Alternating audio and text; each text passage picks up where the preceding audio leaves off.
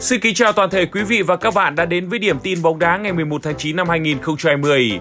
Trước khi đến với những thông tin có trong bản tin ngày hôm nay, đừng quên bấm subscribe ngay kênh YouTube Hơi thở bóng đá, nhớ bấm chuông để nhận được những thông tin mới nhất, những cập nhật nóng hổi nhất và hòa cùng chuyển động của trái bóng tròn mỗi ngày. Sau đây trân trọng kính mời toàn thể quý vị và các bạn cùng thưởng thức những nội dung xuất hiện trong điểm tin bóng đá ngày hôm nay.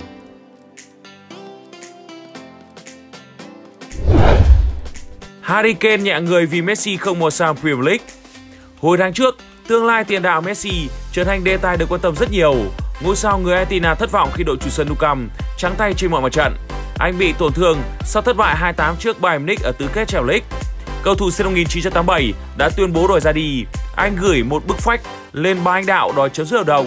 Nhiều thông tin cho rằng M10 muốn làm việc với huấn luyện viên Pep Guardiola ở Manchester City. Đội chủ sở Etihad đã chuẩn bị 200 triệu bảng cùng với mức lương 1,4 triệu bảng trên một tuần cho cầu thủ của Barca. Sau quãng thời gian khiến cho truyền thông dậy sóng, cuối cùng thì tương lai của cầu thủ người Argentina cũng đã khép lại. Messi tiếp tục gắn bó với Barcelona. Những ngày vừa qua, tiền đạo 33 tuổi đã tiến hành tập luyện dưới sự hướng dẫn của huấn luyện viên Ronald Koeman, sẵn sàng cho mùa giải mới. Trong một phát biểu mới nhất, Harry Kane cảm thấy rất vui khi tiền đạo Messi không cập biến Manchester City ở phiên chợ hè năm nay. Bởi nếu mà 10 đến với Man Xanh, sức mạnh của họ sẽ trở lên cực kỳ khủng khiếp. Chân sút của Tottenham Hotspur chia sẻ, Tôi biết có tin đồn Messi sẽ đến với Manchester City, nhưng điều đó đã không xảy ra. Tất cả những gì tôi biết, Messi là cầu thủ xuất sắc nhất từ trước tới nay. Tôi đã từng đối đầu với anh ấy, đó là một cầu thủ đặc biệt. Tài năng của Messi thật đáng kinh ngạc, vì vậy thật may mắn khi anh ấy không có áo Manchester City. Nếu anh ấy tới Etihad, họ sẽ trở nên đáng sợ hơn rất nhiều.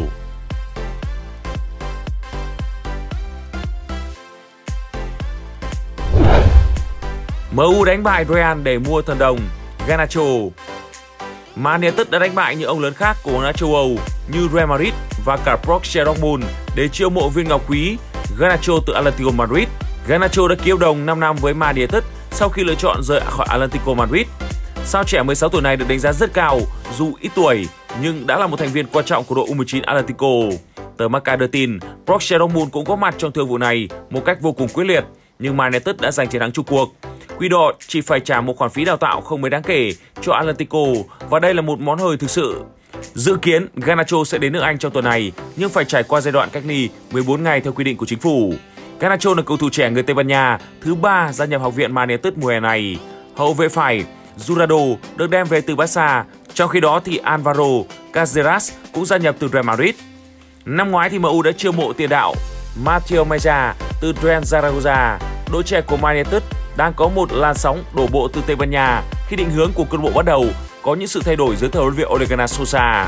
Trong khi đó ở đội 1, Man United mới chỉ chiêu mộ thành công thêm một tân binh mùa hè này, đó là tiền vệ đến từ Ajax Amsterdam, Donny van der Beek với giá 35 triệu bảng. Đội bóng thành Manchester hiện cũng đang có những liên hệ không quá chắc chắn với cầu thủ nào, nên đây có thể xem là thương vụ duy nhất của Quỷ Đỏ ở kỳ chuyển nhượng năm nay. Điều đó khiến cho huấn luyện viên Ole Gunnar Solskjaer gặp nhiều khó khăn bởi các đối thủ đều có sức mạnh vô cùng ấn tượng. Cuộc đấu top 4 với MU năm nay hứa hẹn sẽ khốc liệt khi đội hình còn quá nhiều lỗ hổng cần phải bù đắp. Họ vẫn thiếu một trung vệ thực sự đẳng cấp, đá cặp cùng với Harry Maguire. Ngoài ra, thương vụ Jadon Sancho cũng đang gián đoạn, khiến cho ờ, việc chiêu mộ cầu thủ này vẫn chưa diễn ra được thuận lợi và theo đúng kế hoạch ban đầu.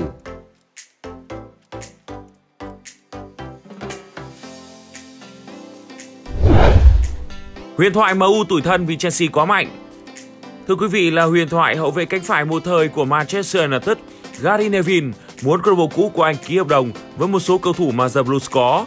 Ông bày tỏ lo ngại họ sẽ bị các đối thủ bỏ lại trong mùa giải Ngoại hạng Anh 2020-2021 sắp tới.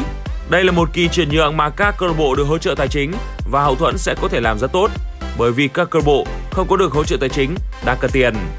Manchester United cần 4 hoặc 5 cầu thủ chất lượng cao nhất để có thể đá cho đội 1. Một chiếc cúp và chen chân vào top 2, đó phải là bước tiếp theo. Nhưng điều đó thực sự sẽ rất khó khăn Huấn luyện viên Sosa cần nhiều cầu thủ hơn và cần sự hỗ trợ từ hội đồng quản trị để làm được điều đó. Khi bạn nhìn vào băng ghế dự bị, những người có thể thay đổi trận đấu không có ở đó.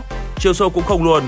Họ chắc chắn cần một trung vệ, một tiền vệ, một tiền đạo và một cầu thủ trẻ cánh phải và có khả năng là một hậu vệ khác, có thể là một hậu vệ trái. Tôi thất vọng vì những cầu thủ mà tôi muốn họ gia nhập MU thì họ lại ký hợp đồng với Chelsea. Cảm giác của Gary Neville trùng khớp với nhiều cổ động viên của Man United. Trên mạng xã hội, những người hâm mộ quỷ đỏ thành Manchester cũng tỏ ra vô cùng ghen tị với Chelsea. Chelsea hiện tại đã đem về Hakim Ziyech, Timo Werner, Malaysia, Thiago Silva và mới đây nhất là Kai Havertz. Trước đó thì Ben Chilwell cũng đã gia nhập đội chủ sân Stamford Bridge.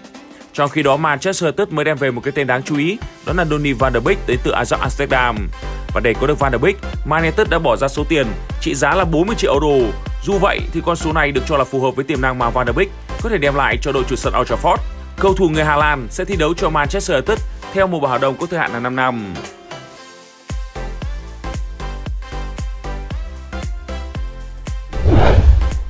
Đừng trách Phi Đức Nguyễn vì anh ấy đã chọn Cộng hòa Séc. Thưa quý vị là Phi Đức Nguyễn trở thành cái tên nổi đình nổi đám trong hơn một năm gần đây. Từng động thái, từng nói nói của anh đều khiến người hâm mộ thấp thỏm khi anh nhiều lần bày tỏ mong muốn trở về quê cha đất tổ, công hiến cho đội tuyển quốc gia Việt Nam.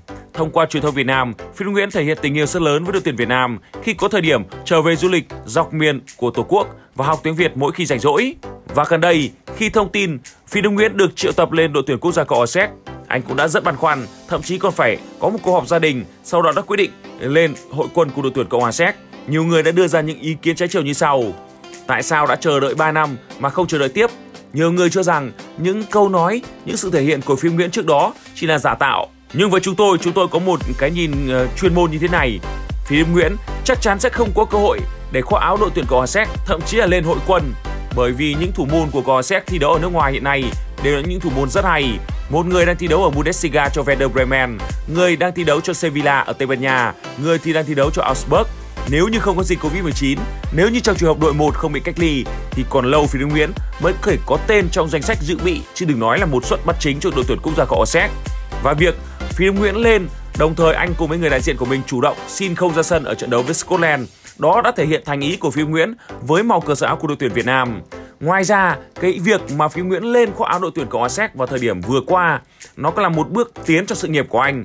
CV của anh sẽ đẹp hơn khi có thể được nốt thêm một vài gạch đầu dòng như kiểu là đã từng khoác áo hoặc đã từng lên hội quân cùng đội tuyển quốc gia Cộng hòa Séc, một đội tuyển có tên tuổi ở châu Âu. Điều đó sẽ giúp cho anh lợi thế hơn trong việc apply vào những giải đấu hàng đầu tại châu Âu, ví dụ như Bundesliga, như Ligue 1, như Tây Ban Nha hay thậm chí là ngoại Anh nữa. Và chúng tôi hy vọng rằng Phi Đức Nguyễn trong tương lai vẫn sẽ duy trì được khát vọng thể hiện được phong độ cao của mình trong áo của câu lạc bộ Soran Liberec. Giống như bố của Phi Nguyễn đã nói, anh ta sinh ra ở Séc, anh ta được nuôi lớn ở Séc và anh ta được thi đấu tạo điều kiện ở Cộng hòa Séc. Do vậy khi đội tuyển quốc gia đất nước này triệu tập, anh ta không thể nói câu từ chối được. Nhưng rõ ràng là việc không ra sân trong trận đấu gặp Scotland một giây phút nào khiến cho Phi Nguyễn vẫn còn nguyên cơ hội để khóa đội tuyển Việt Nam và chúng tôi, những cổ động viên tại Việt Nam, vẫn sẵn sàng chờ đợi Phi Nguyễn nếu như anh đủ điều kiện có quốc tịch Việt Nam về công hiến cho đội tuyển quốc gia Việt Nam đó là một điều vô cùng hoàn hỉ.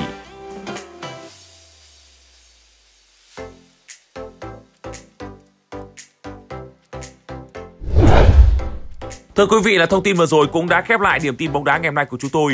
Chúc cho cảm ơn toàn thể quý vị và các bạn đã quan tâm và theo dõi. Xin chào và hẹn gặp lại.